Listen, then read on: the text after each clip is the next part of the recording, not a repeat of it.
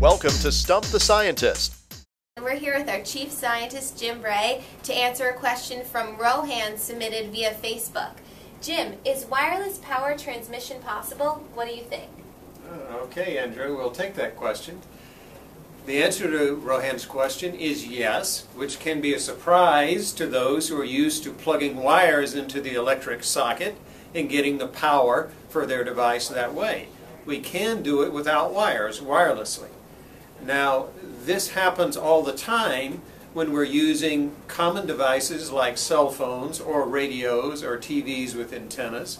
A little bit of power is being transmitted from the transmitting station to the receiver, but the purpose of this is not to give power to the device, but to carry the communications to the device. But nevertheless, a little bit of power is being transmitted.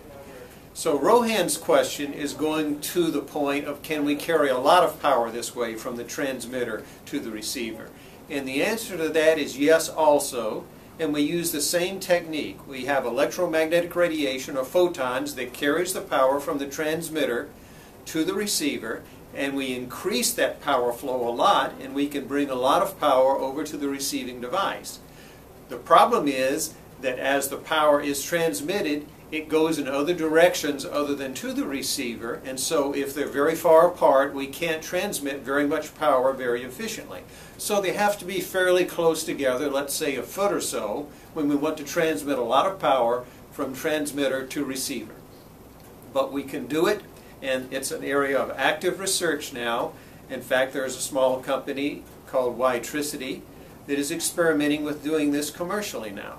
When might we want to do this? Well, in situations where it's difficult to plug wires in. This technique will never be as efficient as a wired connection, but in some situations, like when we want to give power to a mobile device, or give power in situations where it's very difficult to plug wires in, it can be a big advantage. And so I expect to see this technology used more in the future. Good question, Rohan.